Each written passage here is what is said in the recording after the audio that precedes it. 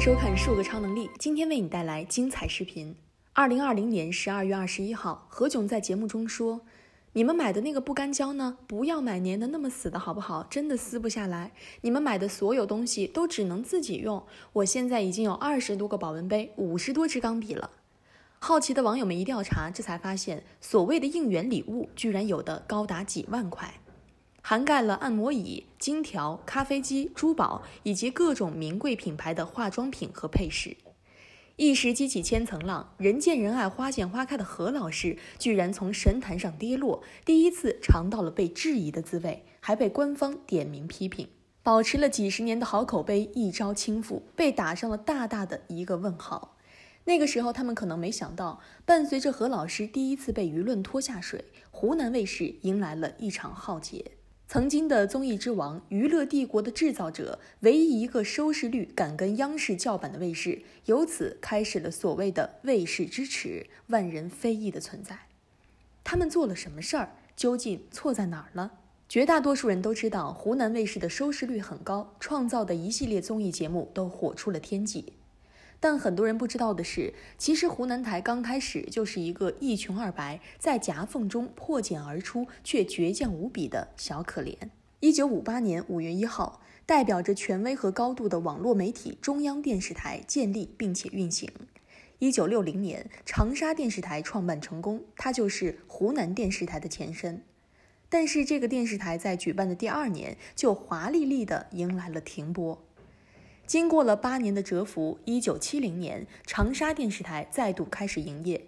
这回他学聪明了，人家更名成为了湖南电视台，成为了湖南多省联合经营存在。从一九九零年开始，湖南台各种文艺电视台开始了第一次大刀阔斧的改革，分化成为了湖南电视台不同的频道，并于一九九五年正式成立了湖南经济电视台。如今的整个电视台大多都是兢兢业业地做着千篇一律的事情，照着央视的生长模式建设，以至于如今的消费群体丧失了新鲜度和乐趣。如果我们创办一个以歌舞和娱乐为中心的卫视，不就一家独大了吗？说干就干，从一九九六年开始，湖南卫视参照着港台电视的综艺模式，推出了不少以歌舞调侃为噱头的综艺节目，在本地引起了强大的反响。名气有了，热度有了，播放量也有了，自然就出现了众多想要抢占黄金时段广告的金主爸爸。就这样，一直过得紧紧巴巴的湖南台，仅用了不到一年，就农民翻身把歌唱，成为靠实力吃饭的地主。一九九七年，财大气粗的湖南卫视正式通过亚洲二号卫星传送，呼号为湖南卫视。在那个大多数卫视都还揭不开锅的年代，湖南卫视正式通过了市场的检验，成为了一骑绝尘的老大哥。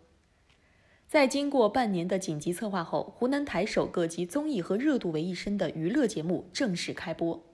没错，这档节目就是为了湖南台打下半壁江山的《快乐大本营》。在一九九七年之前，大多数明星的形象都遥不可及，想要宣传作品，只能通过线下海报张贴，或者是明星本身的号召力。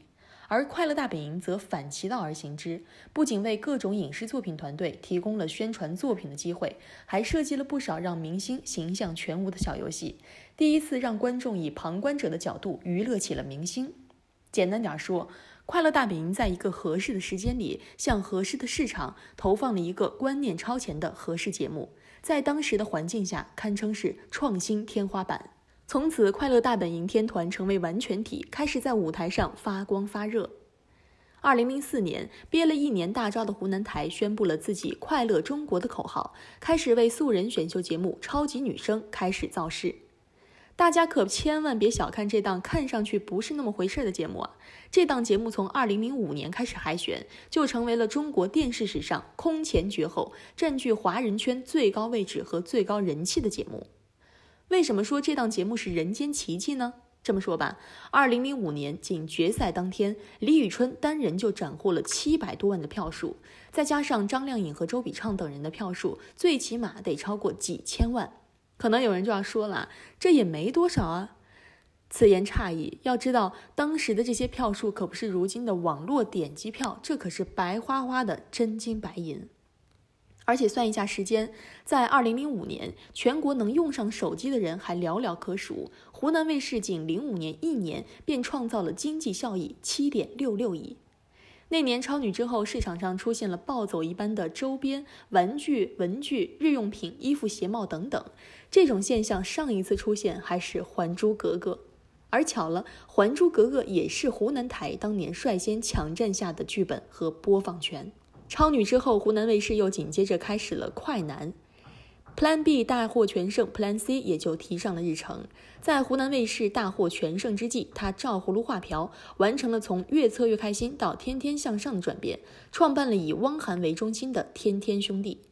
自此开始，天天兄弟和快乐家族两足鼎立，撑起来中国娱乐电视领域的半边天。从今年七月份开始，世俗无比的娱乐圈开始大地震。从工作态度不端到天价合同，再从婚姻不忠到私生活混乱，很多名声在外的艺人们纷纷翻车，迎来了全面雪崩时期。广电接连发布数条文件，对从业人员的艺德进行了约束。湖南台很聪明，没等广电开口就表明了自己的立场。发布争当合格新时代文艺工作者承诺书，下面是自家主持人们的签字。结果前脚刚刚签完所谓的坚守行业底线声明，后脚钱锋就因为私生活问题被一名网红实名举报。钱锋的案子还没说出个一二三，维嘉代言的茶饮品牌也跑路了。自此开始，曾经的一哥正式陨落，成为了谁见谁摇头的卫士之耻。从曾经的综艺一哥到如今的支持，湖南卫视究竟错在哪儿了呢？关于这个问题，想必看完文章的各位粉丝们心中都有决断。可能是错在用观众短信投票助力选手排名，开启了场外投票通道的先河，投票打榜诱导消费的场外环节样样不落；也可能是错在面对其他卫视的借鉴学习，他来势汹汹的回怼，寸步不让的战斗。又或是错在只知道埋头搞发展，却忽略了自家艺人最起码的艺德约束。从何炅的快乐天团到汪涵的天天兄弟，全员恶人。